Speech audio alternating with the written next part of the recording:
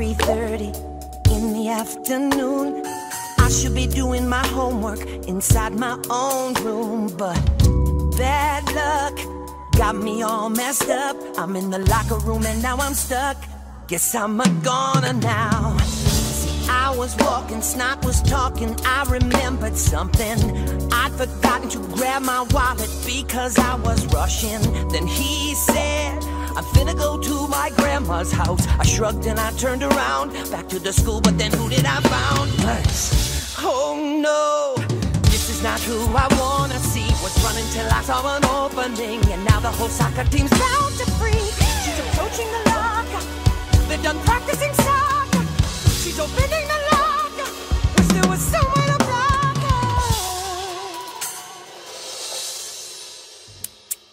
So these girls pull me out of the locker talking about what you doing up in here. I'm like, hold up, you need to lower your voice. Do I make myself clear? She like, whoa, who you calling?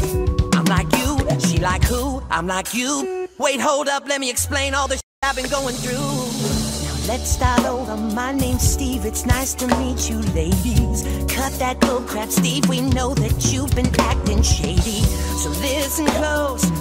This is what we are gonna do. When somebody's creeping, we calling you. Not Jewel, yes Jewel Oh no, Jewel looks like a grown man 14 years old, at least 250 pounds. She's coming at me, and this is when things start to get foolish. The roof caved in, on top of her. Oh my god,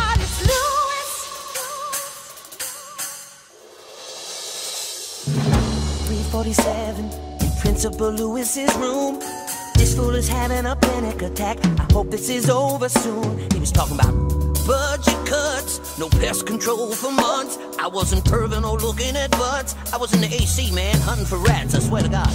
Man, that's your business, not my business. I don't need no update. I got a new woman, so we need to get our story straight. We, what the f you talking about, man? There's no we.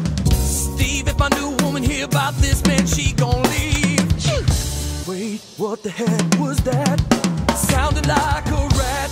Then he pulled out a Jericho 9mm, started busting. And just when I thought it couldn't get more scary, when he opened the door, the rat turned out to be Secretary Mary. Mary.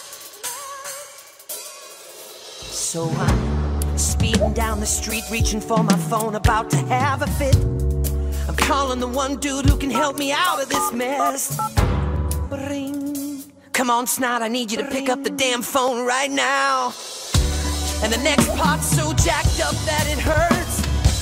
The dude that picked up wasn't Snot, it was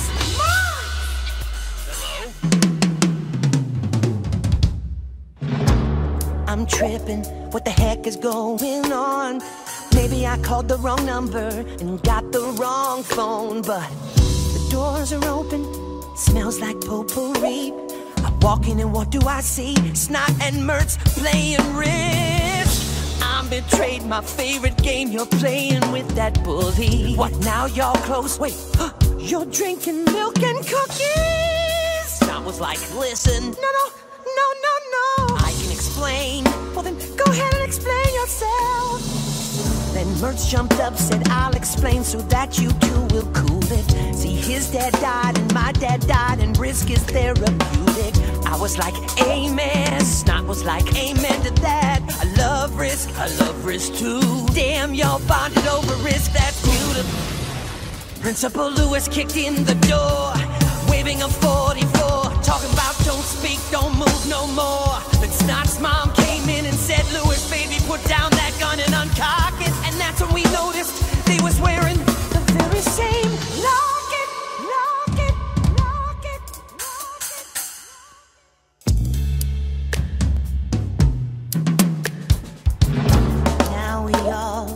floor feeling clueless. It's hard to believe it's not mom was banging Lewis. Then Lewis said, It's been a hell of a day.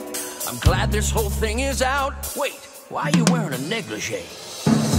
How'd you even know that you was fitting to see me? And whose clothes are those thrown over the TV? and Snot was like stuttering all over the place. And Lewis says, Girl, unless you got Parkinson's, start talking straight. Baby, is everything okay? Wait, hold up. I know this ain't the dude that's the reason for the cabaret lingerie. Then Lewis starts waving his gun around and busting shots off in the closet. Then Greg fell out, cried, Avery, how could Mom screamed. Now Greg's page is flashing blue. He says, My babe's got a clue. Next thing, his man is in the room. Seven minutes later, 12 adults with their guns out. Talking about you stirring up him while they all scream and shout. But then, Principal Lewis started laughing. Just sitting there giggling to himself, just laughing. He said, Well, now that we've all made the connection, I hope everybody was using protection. And they all started laughing because, of course, nobody had. Snot's mom, Greg and Stelio, and this new couple, Gina and Chad. They was all just laughing, just giggling and laughing. And we snuck out while they was laughing. Steve, I don't know why you're telling me this now, and I don't know why you're singing the whole story. But your dad and Roger are about to play in the finals. Okay, singing may have been a bad choice.